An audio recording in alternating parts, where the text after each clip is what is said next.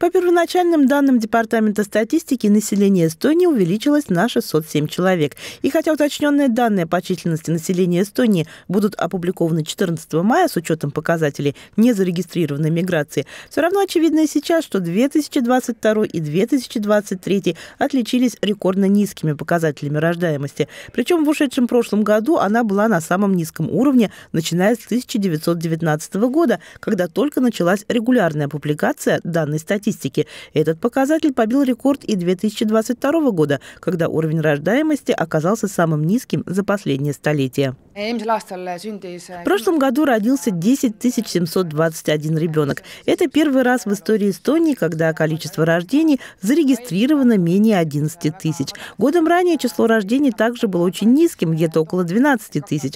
То есть уже два года мы наблюдаем негативный рекорд, и даже до того рождаемость снижалась. Но и кроме Эстонии, многие европейские страны рапортовали о низких показателях числа рождений за последние годы. На такую ситуацию влияет, конечно, все то, что происходит происходит вокруг.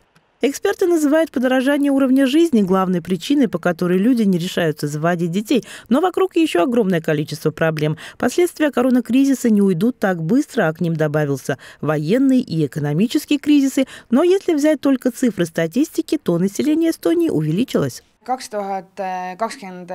В 2022 году в Эстонию прибыло экстремально большое количество мигрантов. Прежде всего, это украинские военные беженцы, которые остались жить здесь. Их было более 33 тысяч. В прошлом году их было примерно 11 тысяч. Надо отметить, что и до всех этих событий граждане Украины приезжали в Эстонию, но их количество было в границах 3 тысяч.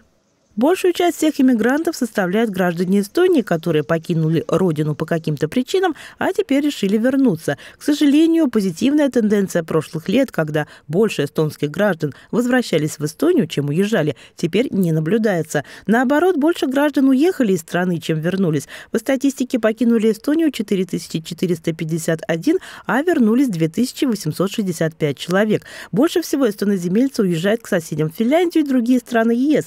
Если же брать статистику смертей, то их количество уменьшилось и вернулось к примерно тому уровню, который был до пандемии. Но все же закончим менее драматичными данными. Если взять статистику самых популярных имен, то из родившихся 5266 девочек 107 получили имя София. Мальчиков родилось 5455. Самые популярные имена Марк и Хуго. Лентуровская, Роман Васильев. Новости Таллина.